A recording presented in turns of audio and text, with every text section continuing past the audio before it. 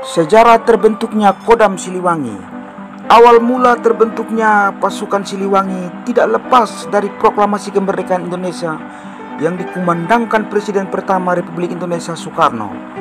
Lima hari setelah pembacaan teks proklamasi, pemerintah membentuk Badan Keamanan Rakyat BKR yang bertujuan sebagai wadah para pejuang. Tepat pada tanggal 5 Oktober, BKR diubah menjadi Tentara Keamanan Rakyat TKR. Pergantian nama disepakati karena Indonesia terus mendapat tekanan dari luar negeri yang terus meningkat.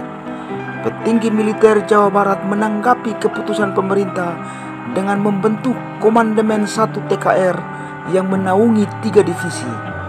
Divisi tersebut di antaranya Divisi 1 yang meliputi Keresidenan Banten dan Bogor. Markas divisi ini berlokasi di Serang. Divisi 2 meliputi Keresidenan Jakarta dan Cirebon. Markas divisi 2 terletak di Linggarjati, sementara divisi 3 menyangkut wilayah Keresidenan Priangan yang bermarkas di Bandung. Setelah berlangsungnya agresi militer Belanda pertama, terbentuklah divisi Siliwangi yang bertanggung jawab membawahi divisi tersebut. Selama beberapa periode, nama ini terus mengalami perubahan.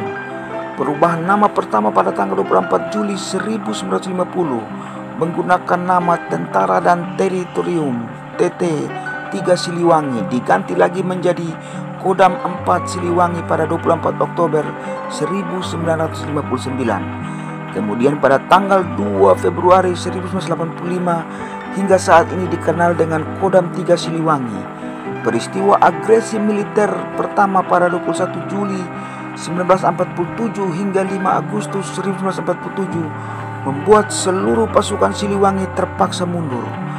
Para angkatan bersenjata menyebar ke hutan dan pedalaman. Di tempat inilah dimulailah pertempuran secara gerilya. Meskipun pernah dipukul mundur saat agresi pertama, pasukan Siliwangi berhasil membuat serdadu Belanda ketakutan. Agresi bersenjata Siliwangi menggunakan taktik hit and run. Aksi tersebut berhasil menewaskan beberapa tentara lawan. Berdasarkan catatan sejarah, dalam peristiwa agresi militer pertama, angkatan bersenjata mampu menewaskan sekitar 169 orang tentara Belanda. Namun saat pasukan Siliwangi menerapkan gerilya, jumlah serdadu Belanda yang tewas mengalami peningkatan menjadi 597 orang. Aksi pasukan Siliwangi tidak berlangsung lama. Perjanjian Renville memaksa divisi ini meninggalkan kandangnya. Kodam 3 Siliwangi bergabung dengan pasukan inti dari Jawa Tengah. Terusirnya divisi ini dari Jawa Barat dan bergabung dengan divisi lain merupakan keputusan yang sangat sulit bagi semua personel. Akan tetapi, kedatangan pasukan Siliwangi di Jawa Tengah tidak disambut dengan baik oleh divisi lain. Tidak sedikit angkatan bersenjata yang termakan isu yang disebarkan oleh Belanda.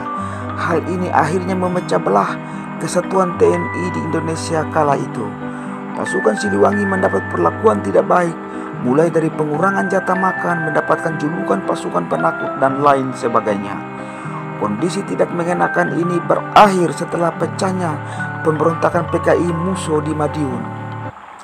Peristiwa ini membuktikan bahwa pasukan Siliwangi memiliki loyalitas yang tidak diragukan lagi.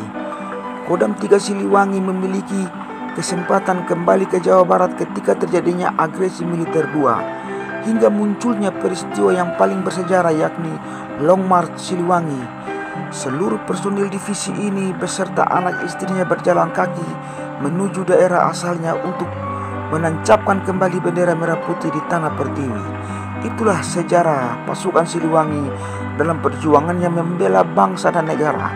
Pasukan ini merupakan pejuang revolusi yang berjaya pada 1945 hingga 1949. Sejak resmi didirikan pada 20 Mei 1971, angkatan bersenjata dengan logo macan ini sudah merasakan pahit getirnya perjuangan melawan penjajah.